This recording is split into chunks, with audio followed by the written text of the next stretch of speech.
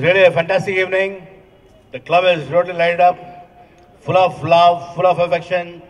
I see so many happy faces, and I think this is one of the greatest rewards for being in this industry. I was watching on the top, and I have to introduce you to my very good friend Nasir Bhai from Dubai.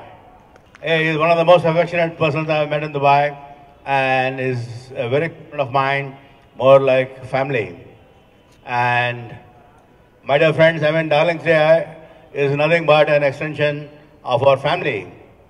We talk about love, we talk about affection, but I mean, we, in this uh, world of professionalism where people are totally disconnected, we just forget our own family values. And Country Club is all about family, family bonding, and Darling's Day Out is nothing but a reinforcement of the community.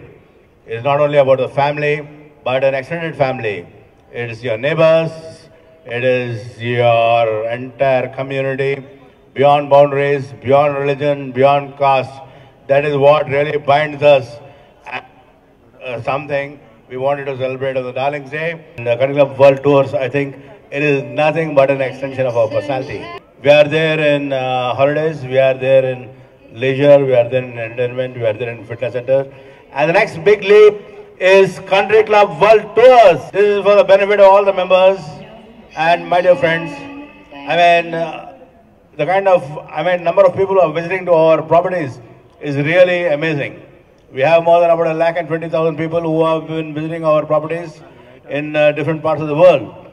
So this is one of the records what we have set. And I'm sure, I think with this vertical country club world tours, I'm sure, I think it's another big vertical that's going to take off. And I think with the support and blessings of all of you, I'm sure this is going to really go into a greater height. Thank you.